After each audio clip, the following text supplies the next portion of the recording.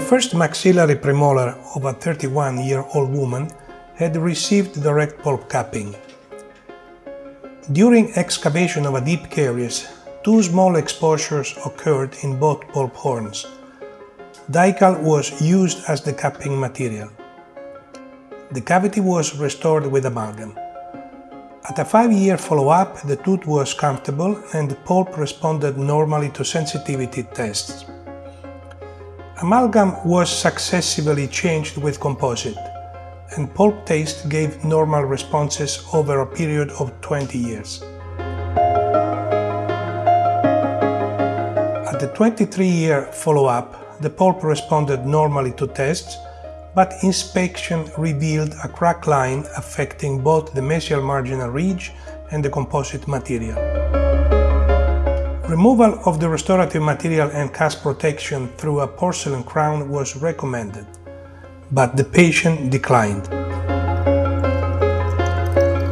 She returned after another four years, 27 years after pulp capping, seeking treatment for an abscess.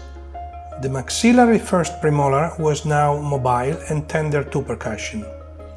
The pulp did not respond to sensitivity tests. The diagnosis of pulp necrosis was made.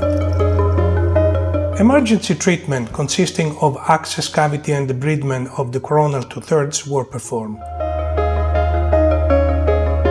Canals were medicated with calcium hydroxide. Symptoms regressed in the successive days, and after one week, canals were reaccessed. Calcium hydroxide was removed by irrigation.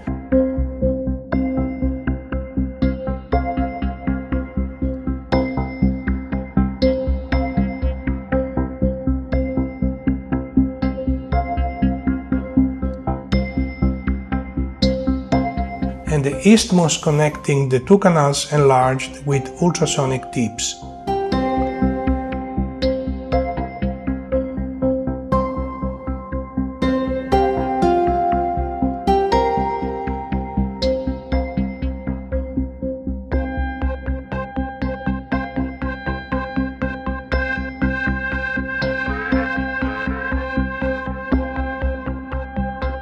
Working length was established at the apical constriction with an electronic apex locator.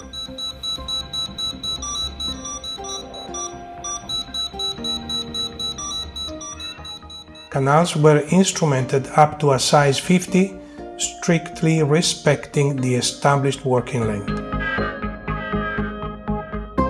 Ultrasonic agitation of the irrigant solution was performed.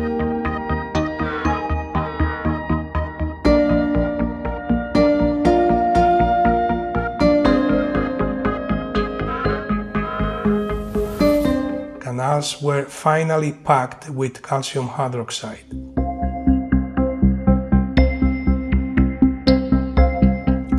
The access was temporarily filled with IRM and care was taken to release the occlusal contacts. The patient presented after one week declaring pain to chewing. Inspection revealed that the tooth was split. Extraction was decided. Close-up view of the buccal root apex revealed that the main foramen was consistently short of the radiographic apex. This distance was found to be 3 mm. This was confirmed after clearing before paraffin infiltration. Longitudinal sections show that instrumentation had created an apical collar or apical stop respecting the apical constriction.